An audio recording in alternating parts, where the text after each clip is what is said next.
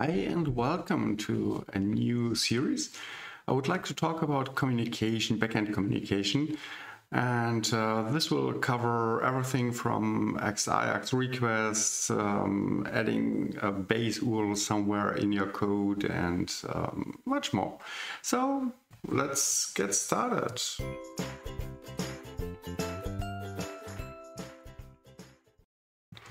So I prepared a bit for you and um, let's dive into it. Um, as you can see, I prepared a new app which is out of the box, uh, the out of the box app.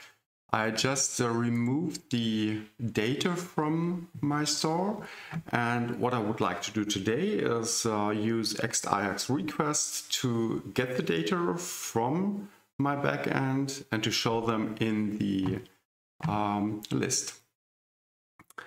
So in my main controller, I added an init function. And if I run it right now, let me just rerun it, you can see it's nothing is uh, happening. So I'm adding in here an Ext.Ajax request. I will go into that a bit later. Let me just start this now, rerun my browser. And as you can see, we get this requests. I get the data. I get some output in here. And now let's dive into it. With the Ext.Ajax request, we will add a couple of information. We will add this object in here. And the first thing we want to add is our URL. As you can see in here, it says apps com resources sim users. It's the same as in here. Now we want to run this and as soon as we get the information, if we succeeded or if we failed, we want to do something. So the first thing is, let me just rip out these two, a callback. Whenever we run an Ext.Ajax request, we can say callback and define a method in here. Request callback. So I have in here my request callback and all it's doing, it's just outputting users callback, which is down here. And as soon as I run this, it doesn't matter if I fail or if I succeed. So let me just rerun this. Uh, re rerun this. This was wrong. This is Right, okay. We get this callback. Now let me add an error in here and just say users with a double S. I rerun this. Now we get an error that it was not able to run users as you can see in here. It couldn't find it. And still it says uses callback. So whenever we run this, we will get this callback. Now let me add these two. Whenever something failed, we can say, okay, as soon as it failed, run this method, request failure. And what it's supposed to do, it's saying, okay, try to figure out if there's a response JSON, if there's no response uh, uh, uh, JSON, which we won't have um, for now, um, it will output the response status and response text. So let's run this. And again, it fails, but we get this 404, which is the status, not found, which is the text. Let me just get that in here. Um, the answer is a 404 and we see in here it says 404 not found. So it's exactly this. And I'm just adding in here users so that we know, okay, it's our user score. Now, if we succeed, let me rerun this with a successful call.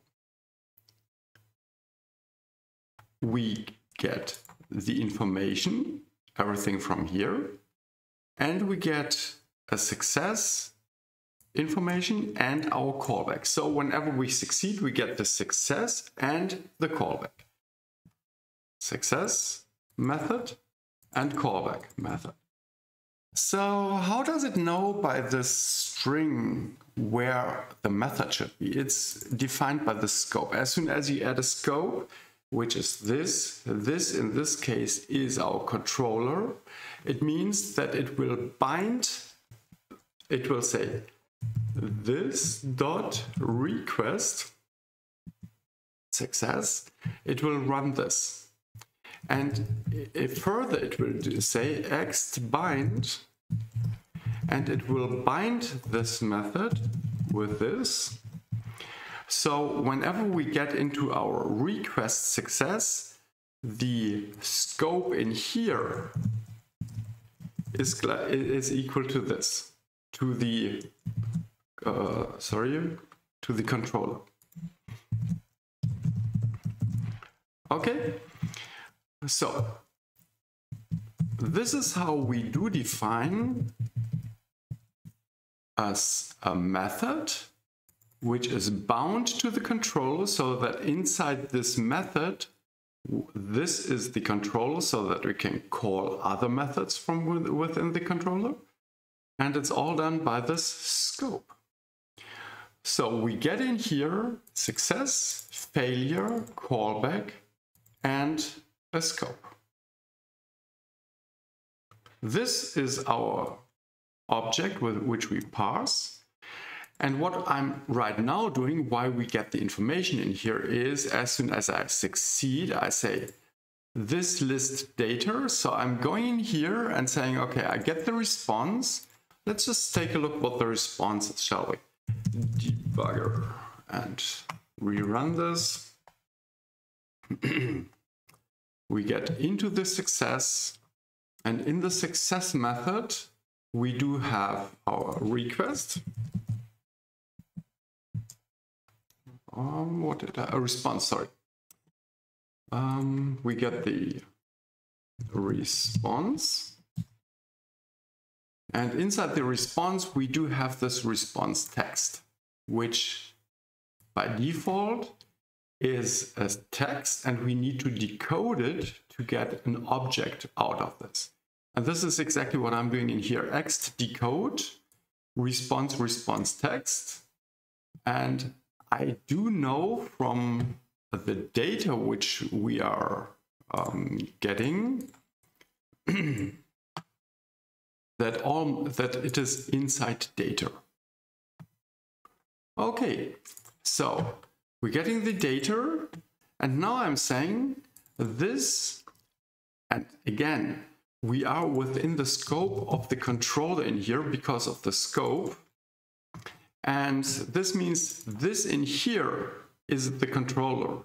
And this list data, and we are adding the data which we received. And we're just saying, get me the users, user list, get the straw from the grid, set the data to data. And that's basically it. That's how we just right now are adding the data in here. So we are not adding them, we are replacing them because we are saying set data.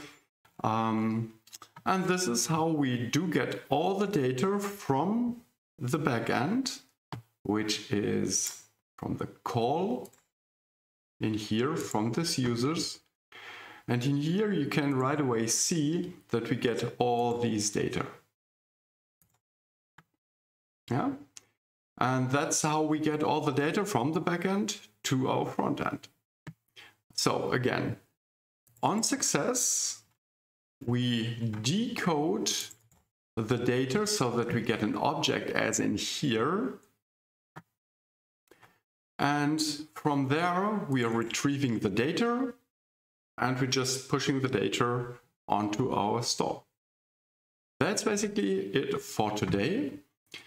For our next one, we will talk about uh, using exactly the same, but we are going just for users instead of this long path. And sorry, because we will define this as our base URL. And I hope to see you again next time. And um, have a great day and Until next time.